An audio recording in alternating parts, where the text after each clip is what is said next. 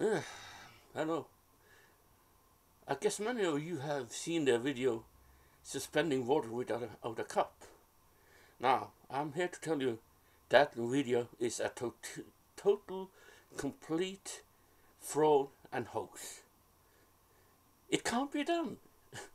Anyone with a lick of sense see, can see through that in a heartbeat. It's pure CGI.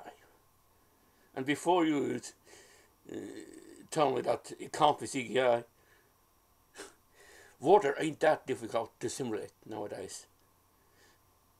Uh, it's not cutting edge anymore.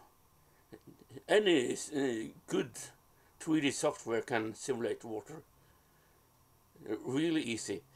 Okay, it can take a long time to to render it, but that's something that's uh, that something different. That's a whole uh, another deal. And uh, the, there's an, another argument. The video must be crappy. And uh, the, the video is crappy, so it must be real. That's bullshit.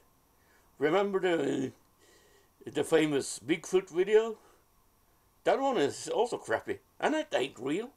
It's just a guy in a in a suit, a guy in a gorilla suit walking. Now, just accept it.